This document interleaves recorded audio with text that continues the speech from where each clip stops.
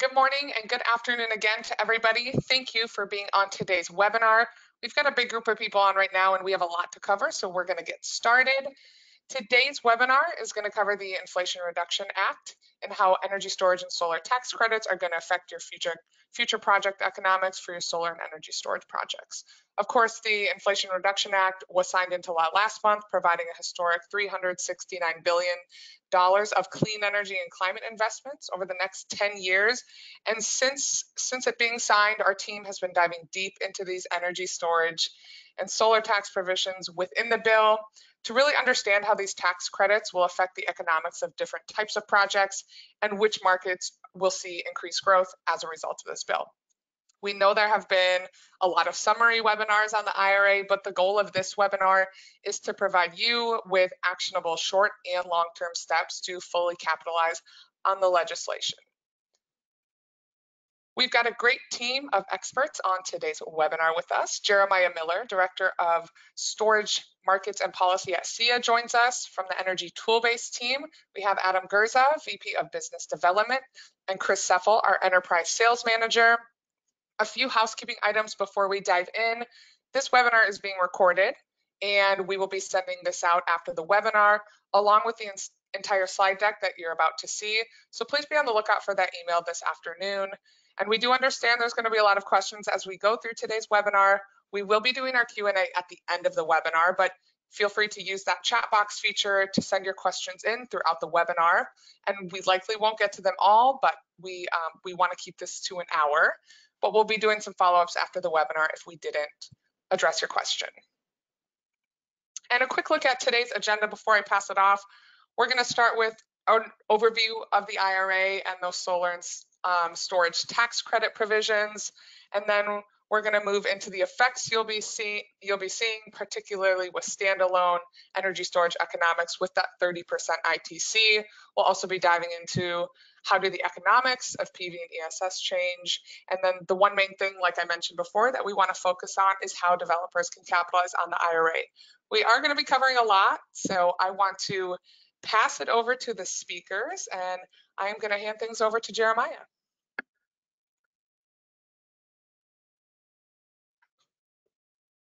All right, thank you, Tracy. And you can see my screen, right?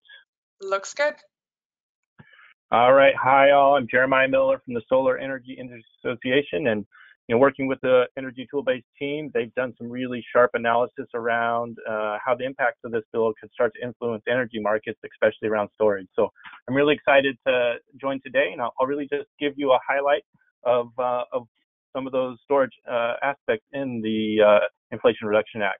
So to get started, you know, for SEIA, where we are the leading uh, trade group for transforming the clean energy economy, creating the framework for solar to achieve 30% of U.S. electricity generation by 2030.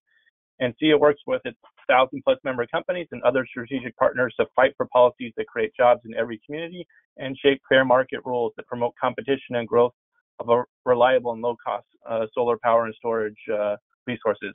Founded in 1974, SEIA is the nation, nation's uh, leading trade organization for solar and storage, and we're working to build a comprehensive vision for this next decade for how we d- deploy and grow those resources. So today, I'm just going to highlight a few of those uh, IRA uh, aspects as they apply to storage. You know, the the IRA itself represents the single biggest climate investment in U.S. history.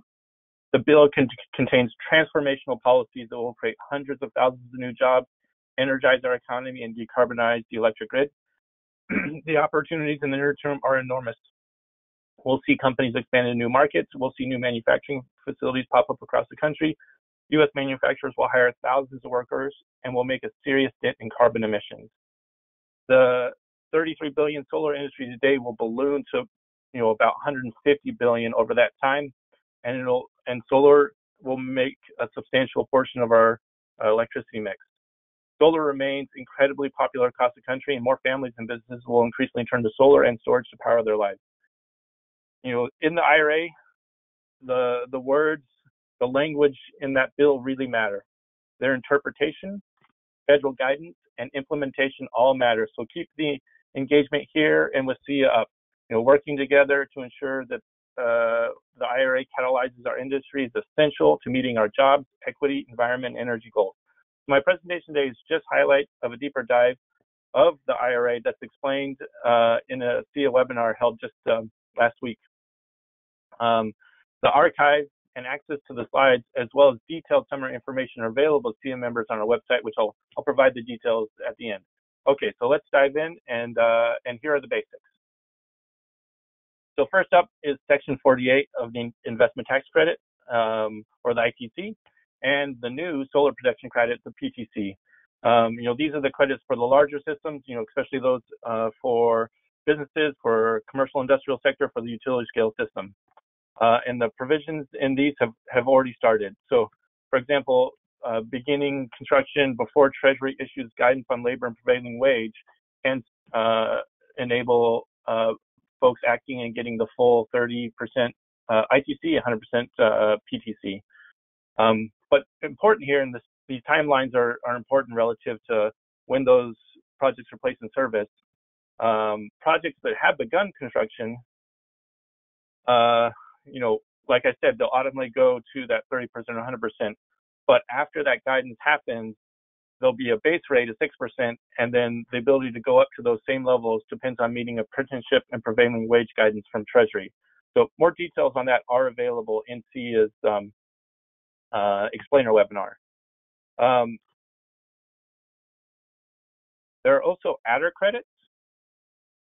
Uh, these three, uh, you know, those, for example, are uh, if placed within energy communities, meeting domestic content, and if located in a low income or Indian tribal community. You know, the last one here also has to be allocated, meaning you have to apply to receive it. You know, these um, are, are important relative to those uh, future year credits. Um, so for SEIA, for example, is de developing a detailed map of what the energy communities are, you know, where they're located and whatnot, and um, and that's available to our members. You know, for domestic content, there there's actually a ton of uh, further guidance that's needed from Treasury on this, and um, and so uh, we'll, we'll, chat a little bit about that uh, later on. I have a slide. Um, but uh, on the other end of the scale, there's residential systems. So Section 25D uh, has been revised, and for the investment tax credit, that's been returned to 30%, as well as extending it for the next decade before it steps down. You know, for storage, the long-awaited standalone revisions are included. Standalone storage has been added under as a quali qualifying both under Section 48 that I spoke about a moment ago, as well as under Section 25D here. There are minimum sizes, um, which I assume will be fairly easy to meet. And, um, and so, as noted here, also placed in, in service dates are important to consider. You know, for example, for systems on distribution, uh, you know, the, those those can uh, be applied now, and um, and for standalone at residential, if, if people choose to do that, they could start acting on that now. But for Section 48, uh, standalone storage isn't applicable until um, till the end of the calendar year, until January 1. Uh, so, so keep in mind that we can take questions relative to clarifying that uh, later on. Uh, for distribution and for especially these smaller systems, anything smaller than 5 megawatts, another thing to note is that there are uh, there's a provision to allow interconnection costs to also be included uh, within Section 48. And so that's also going to be helpful. Interconnection challenges are cropping up all over the country, and, and the barriers and cost prohibitive upgrades are, are proving to be a big challenge. And, and SEIA is tackling that in other areas, um, but uh, relative to the IRA, there is this uh, incentive to help support um, making those more affordable. Um, so on our next slide, uh, I, I, wanted to note that um, for storage, there, uh, there are these uh, standalone credits. That's what you heard me just say about 48, uh, Section 48, and the investment tax credit, as well as for Section 25D for the smaller residential systems. Um, there are those limits, uh, the minimums above which these apply, and those are probably likely easy to achieve, um, especially for the, the larger commercial, industrial, and, and utility scale systems. Um, the you know, as you heard me say, the standalone credit for Section 48 isn't available until December 31. But if a project is uh, choosing to go with um, a solar plus storage system and the hybrid plant deployments, they could apply both ITC or PTC for those larger Section 48 uh, projects. Um, for uh, the smaller systems, again, uh, that December 31 date is important to consider for standalone. So um, as mentioned, there are domestic manufacturing incentives in the IRA. So I'm going to focus here on the domestic uh, content bonus credit. You know, taking note that guidance from Treasury will be required. For instance, if qualitative analysis, what is typically uh, historically used uh, to determine domestic content, if, if quantitative analysis will still apply for determining if a product meets the minimum domestic percentage. You know, for storage, details on how and what minimum level will be needed, plus better definitions for end product, definitions for components, definitions for subcomponents will need clarified.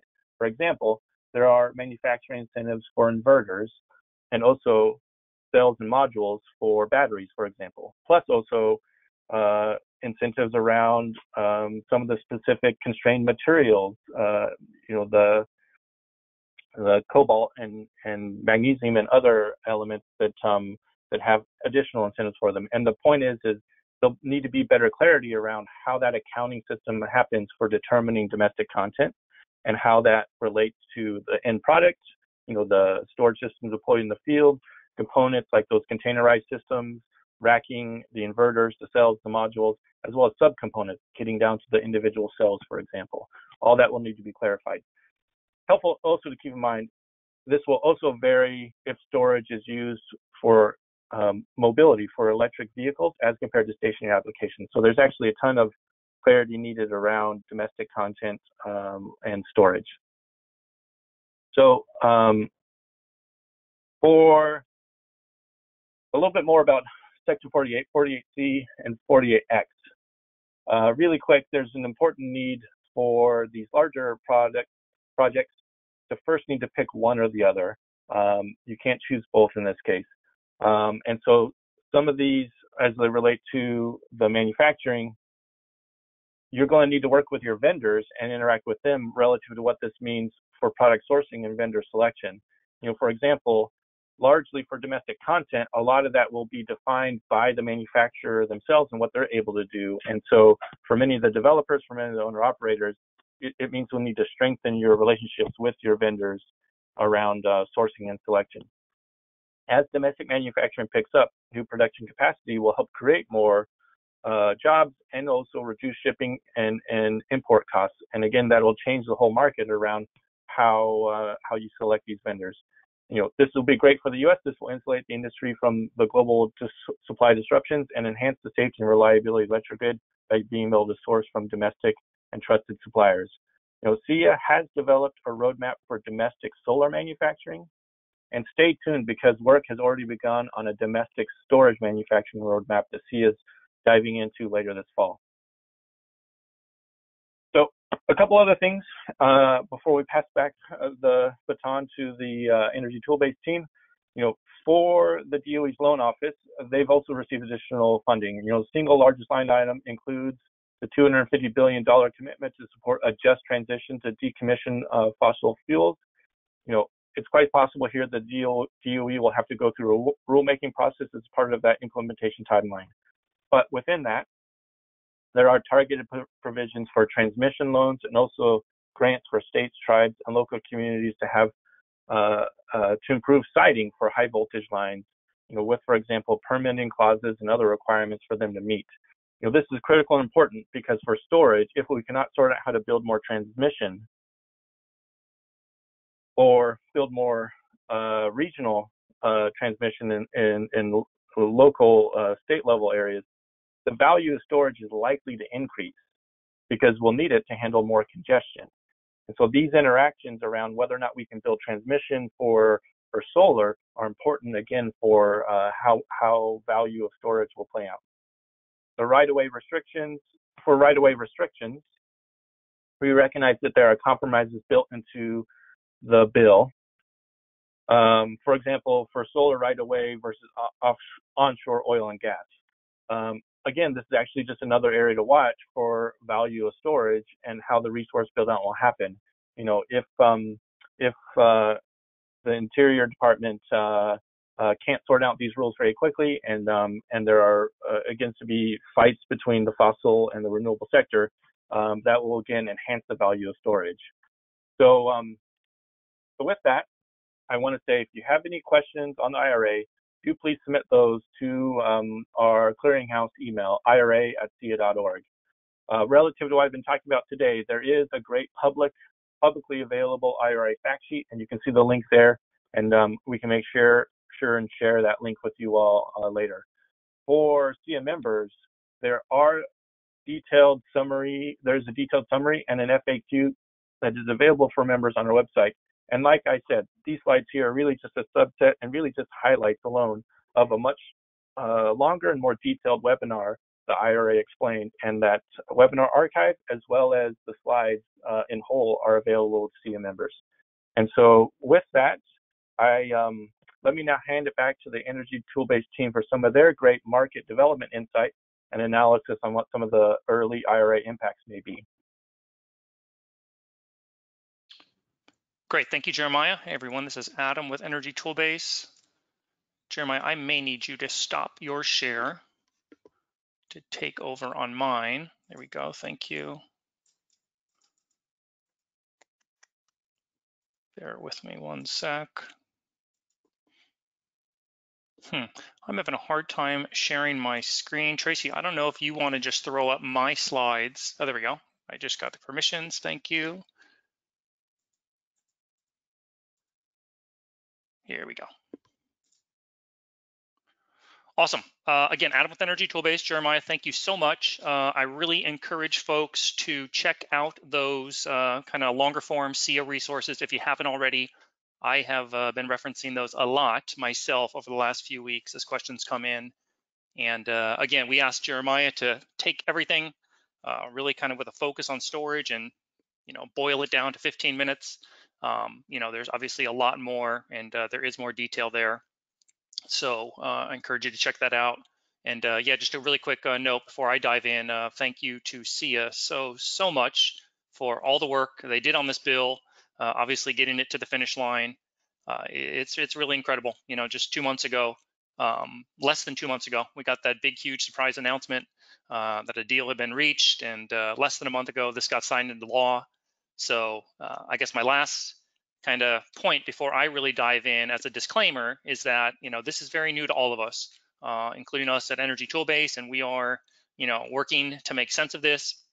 And I'm excited to show a lot of the analysis that we've done, uh, starting with um, kind of really deep diving on the standalone energy storage tax credit. So without further ado, let me jump in uh, I just want to kind of begin by doing a quick run through of some of the advantages okay, of deploying uh, storage in a standalone application compared to standalone solar or let's say um, solar plus storage applications, right? So certainly on the rate tariff side, where I'm going to spend a lot of my time, um, you know, lots of folks know there are rate tariffs out there, especially in a commercial setting, uh, that are not necessarily always conducive for solar.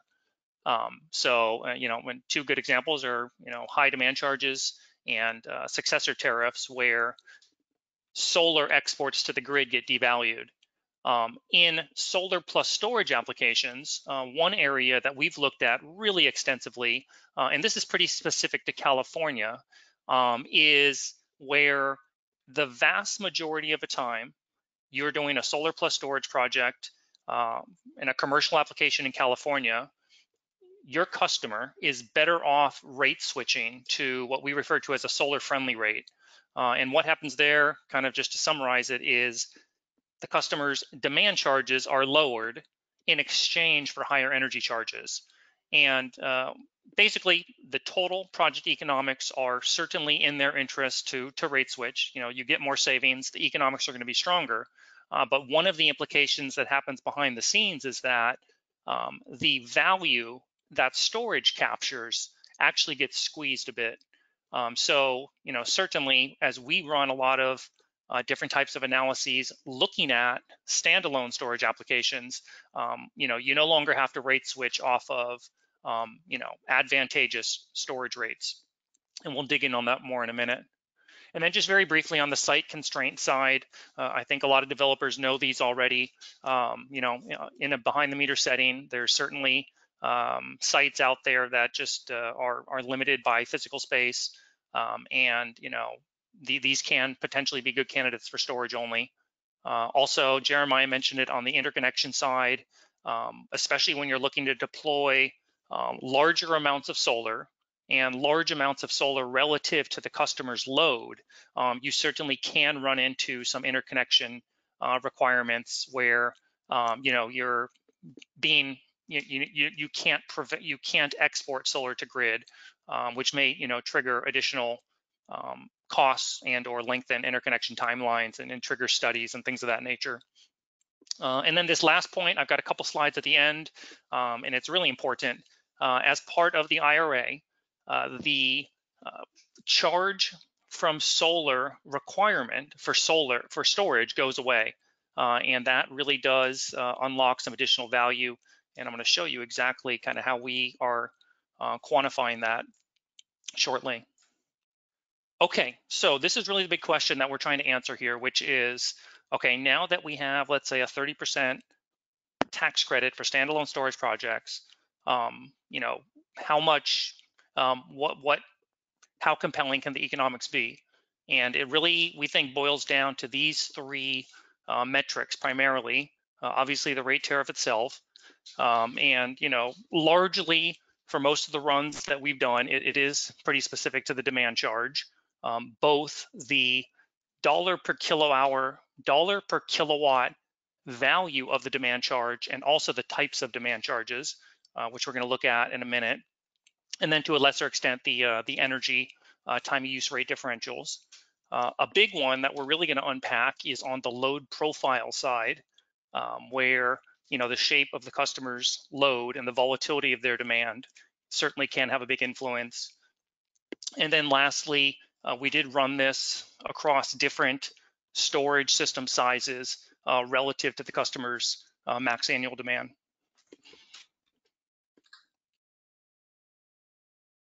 Okay, so we are going to uh, jump in and look at all the analysis we ran in just a second.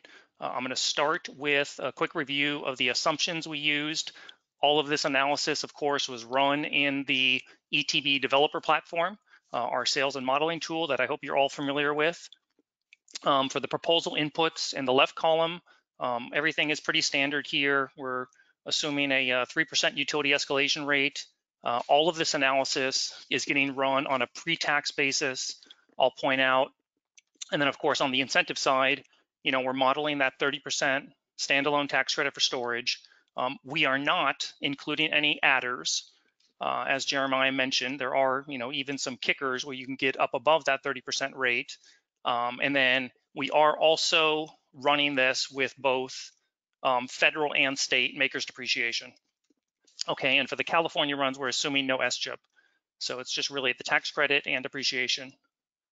Okay, over on the right for pricing, um, we spent a bit of time here, and I really wanted to use what I hope um, folks look at as conservative assumptions for what the all-in turnkey installed pricing um, lands at. And you can see where um, those values are in dollar per kilowatt hour terms uh, and how they scale down as the, uh, the size of the storage gets larger. Um, and all of these were run using a kind of simplistic bid pricing model that we have. And I was um, basically assuming profit margins between, let's say, 20 and 25%.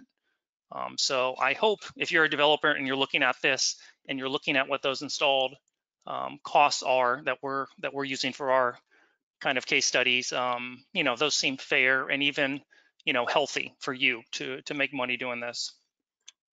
Okay, let's jump into the runs. Actually, I have one more slide. Uh, this is always really important. Um, you've probably seen me do this in the past when we do kind of matrix analysis across different types of uh, runs. And what we do here is we just want to use uh, a cross section of different types of load profiles um, to get an understanding of you know how that influences uh, savings and economics. So you can see here I've got four building types, um, you know, and the load factor is uh, is right there on that left table. Uh, of course, the lower load factor um, kind of represents a spike year um, or a higher volatility customer. Uh, in this case, the church or the office building, and then vice versa for a high load factor. Um, you know, the formula being um, simply the average kW demand from all intervals divided by the max kW demand for, for all intervals for the customer. So you're always going to be between zero and one, and uh, lower load factor are the high volatility folks, and and vice versa um, in the case of the data center for the setups we did. Okay, so let's start with one run, and then we're going to expand this out and look at kind of the uh, range of different runs we did across a lot of these different dimensions here. So we're going to start with an office building in the SDG&E territory on the ALTOU rate, which everybody in San Diego is uh, very familiar with. Uh, and we're sizing this one, the storage is getting sized at 50% of the customer's max demand. Um, so what I mean there, this particular load profile we imported in, and uh, by the way, this is real um, usage data for an actual office building customer. Um, they maxed out at about 250 kW, uh, and the size of the storage system here was a 125 kW two-hour battery, so 250 kilowatt hour. Uh, you can see the cost, um, 1280 a kilowatt hour, so that's coming in at about uh, $320,000. Okay, so looking over on the right, I, I definitely want to kind of highlight the fact that the SDG&E ALTOU rate is like undoubtedly one of the um, highest demand charge rates in the country. Uh, and it, it's a really, frankly, exceptional rate uh, for standalone storage as we're going to look at here. Um, you can see on the demand charge column, we've got both a uh, $33 per kW non-coincident demand charge, right? So their highest interval in the entire billing cycle uh, is getting billed at $33. And then in addition to that, there is also an on-peak demand charge in both the summer and the winter. Um, you know, $42 summer, $30 winter, uh, and that is based on their highest registered demand in that on-peak 4 p 4 p.m. to 9 p.m. period. So two types of demand charges here, uh, which is actually typical for um, commercial rate tariffs in California and, and other parts of the country as well. I was going to just very briefly, let's see if this works, just before I kind of review all of the analysis, show, um, hopefully, I'm not seeing my screen preview. You guys are seeing my ETB developer view instead of the PowerPoint deck. Um, tell me if you're not in the chat. Um, so just very briefly, uh, how all of this analysis was run. Let's just go look at one individual simulation. I always like to kind of jump into a summer month. I think that gives a good view. And again, we just kind of ran through all the assumptions. Let's just kind of look at a week of data or so. Uh, and you can see the storage dispatch, the standalone storage dispatch on the ALTOU rate here. Um, pretty straightforward. We're doing a lot of dispatch here in that four to nine window. Um, and I did not mention earlier in the assumptions section, but this, all of the um, energy storage simulation parameters are identical to what we use via our integrations on the platform. So we think these are really indicative and representative of what we could achieve in the field uh, in a standalone storage application. Um, not super aggressive, not overly conservative, um, you know, indicative of, uh, of what's possible and uh, how much savings we could capture. Okay, so this is just, uh, again, the behind the scenes of how simulations are performed. Uh, for all the folks that are on the call today that are our power users, you know all of this very, very well. I just wanted to kind of give some context for those of you that uh, um, may not um, have seen uh, how we run storage simulations on the platform. Okay, without further ado, let's look at the results. Okay, so uh, the storage, the economics, the savings here are incredibly strong. Um, you can see uh, energy storage savings we always like to look at it in terms of dollars per kilowatt hours of storage capacity. Uh, came in at a whopping $234 here. Um, so on the economic side, after accounting for uh, that 30% ITC and also both types of depreciation, as I mentioned, uh, you can see we're, we're coming in really, really strong at a two and a half year payback, uh, an uh, uh, internal rate of return north of 30%. And I mentioned there was a note on this on the uh, assumption slide. All of these analyses we ran uh, were on a 15-year basis. So I think that's another way of us really being conservative here. Um, we're not even factoring in um, storage replacement cost. Um, we're simply just um, looking at this all on a 15-year basis. So I think anybody would agree, very, very compelling economics here um, based on all those assumptions, which, um, as I mentioned a couple times, I think are are, are quite reasonable and uh, maybe even conservative on the uh, on the pricing side. Okay, let's now expand this out. Now that you've seen one run, uh, the idea here is to do a cross section of runs, right? So all of these are still on that ALTOU rate. Uh, and now we've uh, ran this across four different types of load profiles um, and three different types of storage system sizes. Um, I forget if I mentioned it, but uh, you know, storage sized at 25% of load, 50% of load, and 100% of load, um, which just gives us an idea of uh, what sort of savings uh, variance and you know we're seeing based on uh, how the storage is sized. Tracy mentioned this earlier. This deck is going to be made available. All of the tables uh, with the analyses are uh, are in there. So if you want to dig deeper in that, um, by all means. Okay, so here are those runs visually presented here. Um, we're showing both the internal rate of return there on the left axis in blue and the uh, payback period in orange. Okay, so basically you can see that um, maybe I guess just looking at you know the first three or six bars on the on the left there, uh, the church and the office, you know these have incredibly strong uh, IRRs and low paybacks. Um, you know IRRs ranging from maybe 20 to 35 percent, uh, and paybacks all sub five years. So regardless of system size here, very very compelling for all of those runs. On the far right, you can see the data center runs. Remember, that's that really flat load profile uh, where there's simply not a lot of volatility. Uh, and our economics drop off really considerably over there, um, right? So IRRs now maybe ranging between three to 10%, paybacks um, maybe between, let's call it seven and 11 years, right? So the takeaway there, and this is a really important one, is that the load profile creates a lot of variance. Um, you know, and we're going to see other examples of that where it's really, really influential on uh, if the deal, the standalone storage deal with the 30% tax credit is viable enough, right? Also, you'll see a little bit of variance, uh, less so, but due to the energy storage system sizing. Again, we ran these at 25%, 50%, and 100% of customers' max demand. Uh, and you can certainly see for the 100% runs, um, you're getting a little bit of uh, drop off uh, compared to the smaller size. Overall, this chart clearly the economics are, are very, very strong across all these different runs. Okay, let me keep moving. Uh, I'm gonna move through this one really quick. Uh, we ran the same analysis on, across a few different rates. Uh, this is the Southern California Edison GS3 TOU option D rate. Uh, this is a very common um, medium-sized commercial customer rate in the SCE territory. Uh, I believe it's for customers with demands from 200 kW to 500 kW.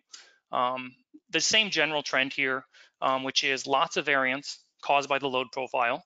Um, you can even see on the far right there, the data center runs actually went upside down. So uh, the IRRs actually go negative, uh, and the payback goes up to, um, you know, it doesn't even beat our 15-year term. So um, you can certainly just say pretty, pretty explicitly those those projects would not be viable. Um, and again, just gives us a good sense of the variance we're seeing as a result of different load profiles. Um, and overall, this is a good rate um, for standalone storage. It's it's not as great as the SDG&E rate we just looked at, um, but it, it, again depends on uh, the load profile as well. One more one, I'm actually just gonna kind of breeze over this slide because I want to keep moving. Uh, also ran this for some uh, scenarios in the PG&E territory. Uh, a lot of the same general takeaways. And all of the tables are in the appendix of this deck, and uh, you can certainly dig in more later. Okay, so this is a neat thing we did lastly, which is we said, okay, um, we certainly want to expand this analysis out beyond California. And frankly, we want to think about this anywhere in the country. Um, you know, and can a standalone storage project with a 30% ITC be viable, you know, wherever? And the, what we did here was um, we just ran it across a few different levels of uh, um, dollar per kW demand charge. So we ran it at a $20 demand charge, a 30 and a 40, uh, just to get a sense of, um, you know, where those economics land. So it's important to note here, all of these were simply run using just a singular, let's say $30 per kW non-coincident demand charge. Okay, so this differs a bit from those California runs because remember, uh, in all of those cases, they had both a non-coincident demand charge in addition to a pretty rich on peak or coincident demand charge as they call it. So um, this is certainly um, a bit different in the sense that we're just looking at this from a, a singular um, non-coincident demand charge. Okay, so here's those runs visually presented. Um, let's see here. The first three on the left of the chart are, you know, running this at a $40 demand charge uh, across a few different types of load profiles. You can see the, the admin building, the office, and the church. Um, you know, maybe you could, you know, the summary here is to say the admin building economics are not great. Um, you know, maybe a 5% IRR, uh, a 10, 10 year payback period, um, whereas the church on a 40 demand, $40 demand charge uh, are very strong, you know, a 20% IRR uh, a four year payback period. And I, this is just going back to that same point I keep making, which is uh, the load profile really does have a lot of influence here um, and uh, can affect and frankly um, make a standalone storage project viable or or not viable um, based on uh, the volatility of that that customer's load. All of these were run at the uh, the 50% size. I think I have a note there on the screen mentioning that. Um, let's see here. Again, really important to note if you're looking at this and saying, okay, well, wherever I am in the country and I know what my customer's demand charge is on certain rate tariffs, and you're thinking, well, are, you know, is standalone storage going to be viable for them? Um, remember, the reason that these look um, kind of comparatively much worse, really, than the California runs we just looked at is because these are just using that one non-coincident demand charge. And the point I'd make there is that there are just um, so many different types of demand charge structures out there around the country. Um, uh, coincident or on-peak demand charges are very, very common. Um, you know, we see those all over the country. Uh, there are you know, tariffs that have both that non-coincident charge and an on-peak charge.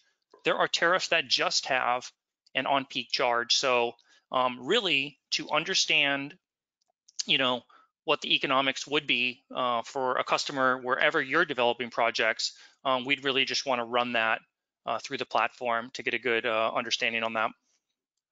Again, I guess one last thing I'll mention before I um, kind of move off of this section is I would like to think this is all using um, somewhat conservative pricing data. And one other point I'd make, none of this assumes any ITC adders. Um, so, you know, the, the adders that Jeremiah hit on and a lot of folks are talking about, um, you know, energy community, low income, domestic content, uh, that could certainly um, juice up these projects further if you're able to uh, claim one of those. Okay, very briefly, let me just kind of hit my key takeaways from this section. Um, I think you know, it's fair to say that there's just a whole range of, uh, um, you know, savings and economics for these standalone projects. They could be really, really great, um, like no-brainer great, uh, all the way down to like bad, like not viable, um, you know, upside down IRRs. And in that sense, I would say it is very similar to, uh, you know, solar only, or even a, a, lot of solar plus storage analysis that we look at. Um, demand charges are definitely the most critical factor both the dollar per kilowatt demand charge level, and then of course also the demand charge structure. Um, you know, in the case of California, where you have both a NC charge and an on-peak charge, really can make a can make a big difference. One other point I'll make here, it kind of gets in the weeds on all of the runs we did. um, demand charges actually, demand savings, I should say, accounted for something like 90% of the total storage savings. So again, it was really all about demand charges.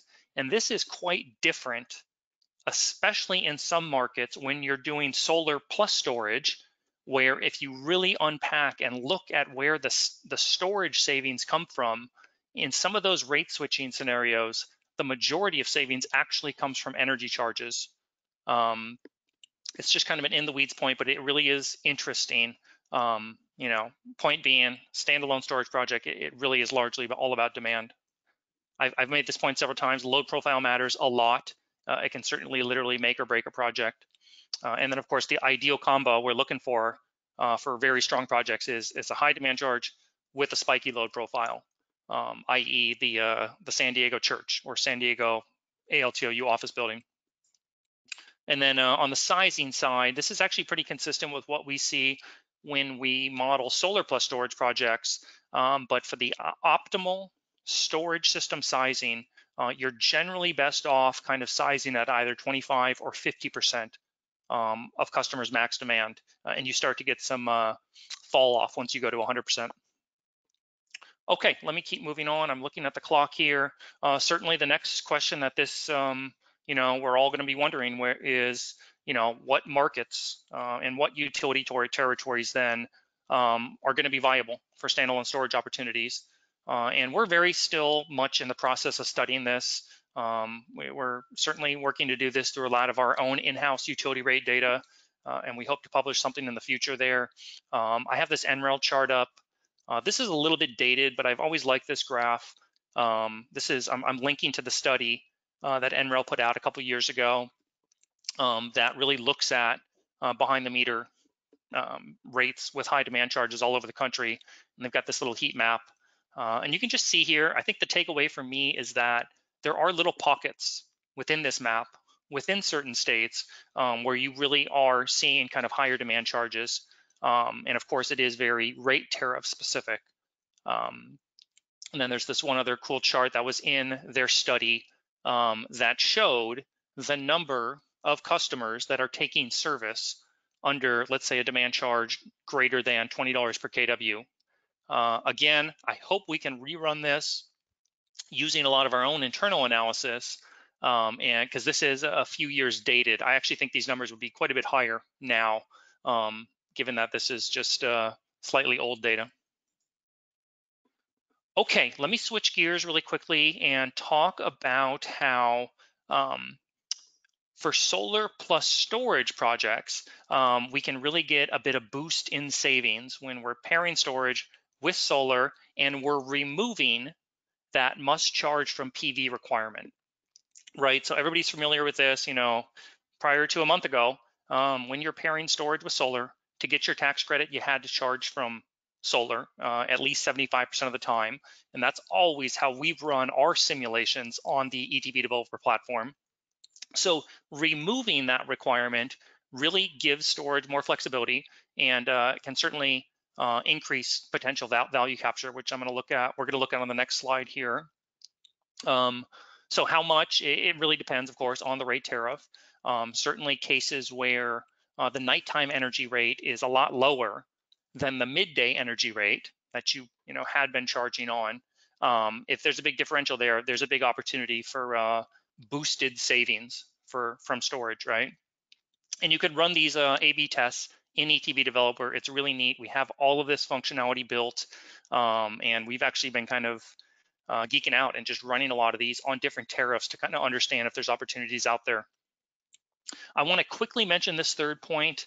Um, it kind of gets a little bit in the weeds, uh, but I can tell you the uh, the engineers on our controls team are really excited about this one, uh, and that's this idea of you know being able to charge the battery in the middle of the night, not having to wait for the solar to come on.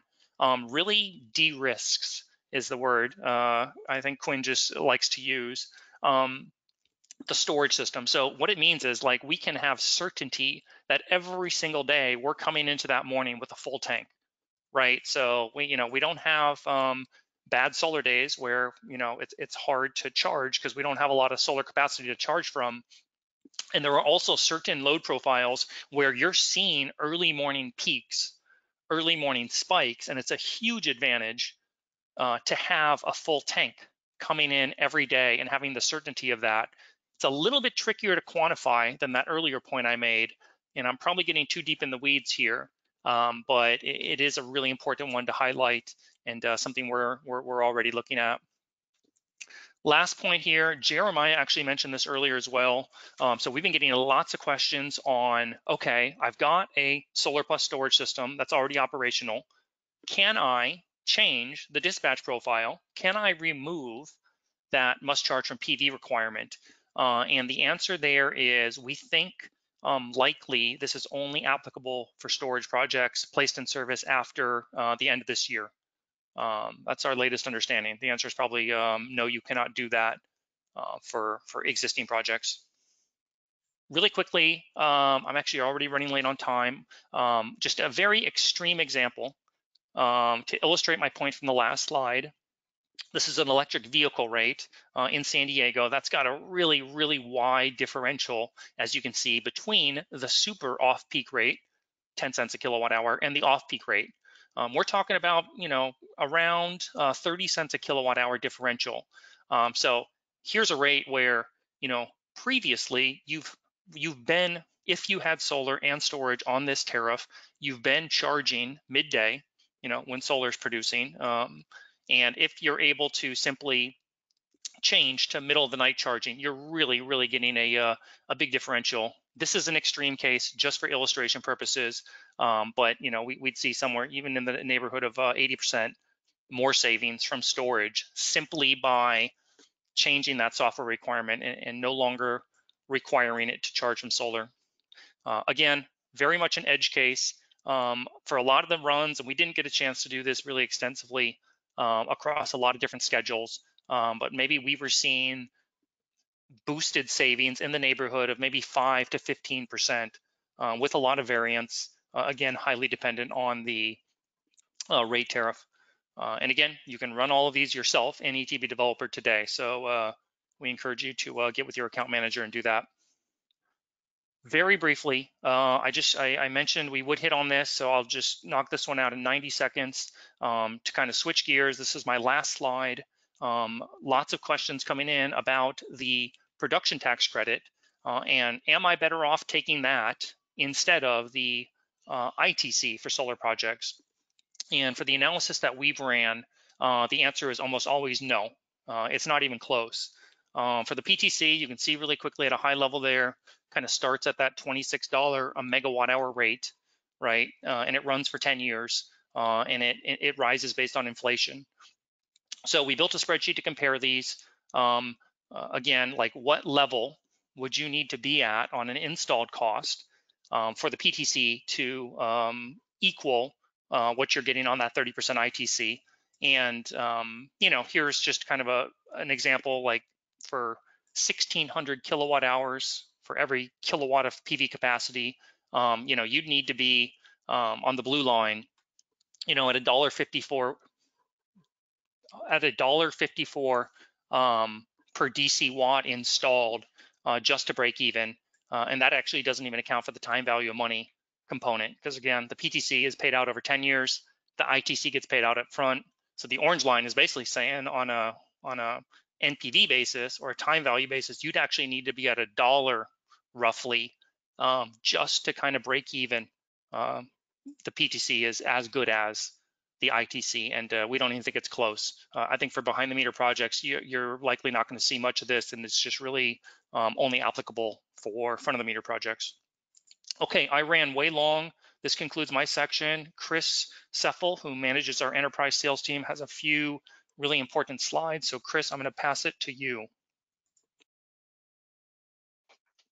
Thank you, Adam. Uh, I'm going to go through this relatively quick so that we have some time at the end here for questions still. Um, we did want to take uh, the last couple minutes before we move to questions uh, to discuss some actionable short-term and long-term steps um, that you can take to fully capitalize on the historic legislation um, and kind of summarize some of the previous information that we presented.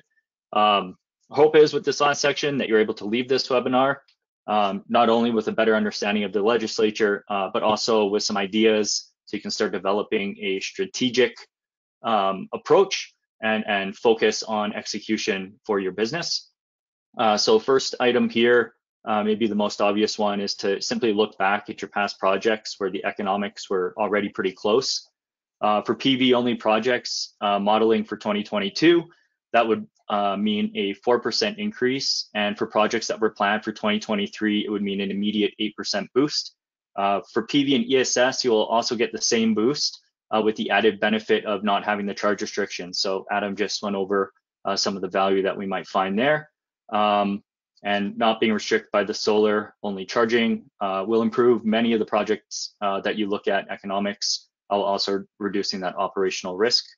Um, looking at past projects may also mean you already have a relationship with the customer uh, and they may already uh, be comfortable with renewable projects, which can help shorten that sales cycle. Uh, the second point here, um, seek out standalone storage opportunities. Um, Adam did a good job of kind of explaining some of the scenarios around that, um, as well as his earlier analysis, painting a clear picture that for behind the meter standalone projects, um, there can be a compelling um, uh, story to be told uh, in areas with high demand and uh, loads that tend to be spiky.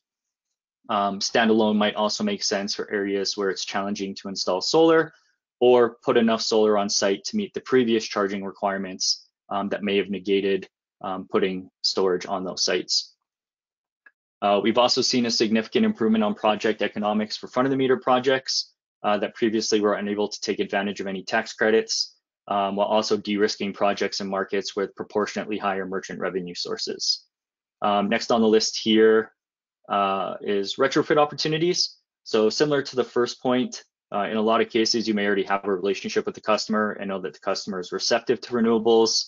Uh, for older projects, the addition of storage may also unlock additional value streams, such as demand response programs, or enable rate switch to more favorable rate. Um, retrofits will also typically have readily, readily available data sets and load profiles through existing on-site monitoring, uh, making it easier to work through ETB developer analysis. Uh, the last two items on this slide uh, are directly related to the specific components of the bill. Um, first, leveraging organizations like SEIA to identify opportunities in low income and energy communities and or sourcing uh, domestic content uh, as discussed earlier, being able to take advantage of those adders will significantly increase the value of the tax credit being claimed. Uh, and second here, for organizations that are already working in the nonprofit space or looking to work in the nonprofit space, the option for direct pay will give more flexibility to businesses looking to build out the renewable projects. Um, that flexibility should enable more organizations that previously would not have had access to that type of invest uh, incentive to kind of move forward and, and take advantage of those. Uh, so we can go to the next slide. Um, so there are several ways that ETBs enabling our developer partners and users to quickly capitalize on the new tax credits, uh, regard, regardless of what your preferred strategy is. Uh, first, you'll be you'll find that all of the updated incentives have been loaded into ETB Developer and can be accessed by users uh, during the proposal creation process. That should allow you to easily add and update incentives uh, to both new projects as well as update previously modeled projects. Uh, for any projects that you have modeled in the past or any new projects, you can also toggle the charge requirements from charge from PV and no charge requirement to do some A-B testing to determine where charging from the grid now makes sense. Uh, also, as previously discussed, removing the charge restriction may help projects that previously did not meet economic hurdles meet those financial requirements as well as uh, reduce the risk profile on some of those projects. Uh, we've also been developing a tool to help model retrofit projects uh, that upon deployment will be accessible directly through ETB Developer. Uh, the tool will, help disaggregate solar and building load profiles on sites that don't have that readily available uh, separated data. Um, so again, really closing the gap on um, what, what is available and, and what's not really easily available. Uh, and lastly, uh, connecting with resources to help identify those low income and energy communities within uh, the geographies that you operate. So I would encourage anyone with questions about any of the above items to reach out to your account manager. Um, for anyone who's not already an ETB developer user, um, we would invite you to sign up for a free trial uh, where you'll have the opportunity to explore all of the above described features as well as all of the other features on the platform. Um, when you sign up for free trial, nothing is, is kind of held back or locked away. And so the last thing I'm going to talk about here, and we can jump into the questions, is um, Energy Tool, Toolbase's three core products. Uh, I think most people are familiar with our sales and modeling software, ETB Developer. Um, we've been in the market with that product for over eight years now and prou proudly work with over 1,500 organizations uh, to help model solar and storage projects uh, with our tier one energy storage integrations and newly added financial integrations. Uh, on the post-install side, we do have Acumen EMS, which is an advanced energy management system, uh, fully integrated with a number of leading ESS vendors, uh, such as BYD, Socomec, Delta, and Tesla. Um, we have over 100 systems deployed or scheduled for deployment using that platform uh, across three different countries and 10 states. Uh, so we're capable of operating in a variety of different behind the meter and front of the meter applications. And last but not least, ETB Monitor, that's our cloud-based monitoring platform with the ability to track not just the operational performance, but also the, also the financial performance of the project. Uh, this innovative feature means more visibility and transparency into the total performance of your project uh, with less work on the back end for your team. Uh, again, if you have any other questions on these products or any of these products are, are new to you, we'd love the opportunity to discuss further and encourage you to reach out to your account manager uh, or schedule some time using the link on our website. Um, I know that was really quick, so again, feel free to reach out uh, for a little more detail on all of that, and I will now pass it back to Tracy uh, for some Q&A. Thank you, Chris. And we have a lot of questions coming in. I know we're coming up to the top of the hour, so we likely won't get to those. I know Jeremiah has been answering some questions in the chat, so we appreciate that, Jeremiah. Um, the recording is going to be sent out with the slide deck. Lots of questions on that after the webinar. So be on the lookout for that email. And Chris, you had mentioned um, standalone ESS projects. Um, so kind of following up on your segment, has ETB deployed any standalone ESS projects to date? Yes, we do have some standalone storage projects. Uh, we also have projects where we have what would typically be typically be considered undersized solar where we were we have been charging from grid and solar. Um, so both of those scenarios uh, we have experience with. Thanks. Uh, we this is one for you, Jeremiah, and you may have answered it in the chat, but we did have some a lot of questions. People asking if you could elaborate what would qualify as low low income economic project for the ITC credits. Yeah, great. Um, it's, it's a great question. There, there's very specific um, guidelines for that. Uh, let me let me find them in the chat because I was just pasting them. Um, and it's defined as a census tract with a poverty rate of at least 20%, as well as a census tract where the median family income is 80% or less of the statewide median family income. Uh, you know, in practice, there's a ton of details around eligibility for this, including like you know, limits on the plant size, how to apply for this credit, and whatnot. So I do want to recommend folks look for more details in those summary uh, in those detailed summary guidelines. Thanks, Jeremiah. And Adam, Jeremiah, you can jump in if you see any you want to ask here. But um, Adam, I'll give this one to you. What are some implications of the IRA and the NEM 3 proceeding in California as that's currently going on right now? Yeah, I forgot to hit on that. I um, did not manage my time well because I took too much time and I actually didn't hit on a couple topics. And I know we mentioned that, Tracy, in the webinar registration page. Um, the answer is we don't know. Um, we're probably going to speculate. Uh, you know, everybody's speculating on how NEM 3 in California is going to come down.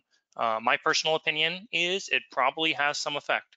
You know, the, the folks at the PUC and, you know, other public utility commissions around the country are certainly looking at uh, what just happened uh, with this historic legislation, and um, I would be surprised if they're not um, thinking that wow, this uh, this big boost maybe uh, gives them cover to um, to I don't know weaken or kind of come down maybe a little closer to the utility side of the argument. That's just my speculation. We don't know. I think nobody knows, uh, uh, but we're all anxiously waiting for that new revised um, proposed decision and the NEM 3 proceeding to drop. Great, thank you, Jeremiah. I'll give this one to you. What are the place and service dates? Could you talk about those again and how does that affect standalone storage ITC eligibility? Yeah, so for residential systems, the standalone uh, battery credit applies to expenditures made after December 31st. You know, basically, if you're doing a solar plus storage, you can get that 30% ITC for the small original systems. But if you're doing standalone, only for residential. You got to wait until that December 31st date. You know, for the larger systems, Section 48, as I noted in the slide, you, you can get going with IT, ITC and PTC now, but systems placed in service before Treasury guidance can use that full amount. But after Treasury provides guidance on those um, prevailing wages, on the apprenticeship program, et cetera, after that guidance is, is published, then it will drop to the base incentive. I think that's 6%. And then getting back up to 30% requires uh, meeting that guidance. And so a 2024 date has been thrown out by for Treasury at least putting out guidance uh, before then. And we believe they will do it faster than that. But that's where that 2024 date also comes into the mix.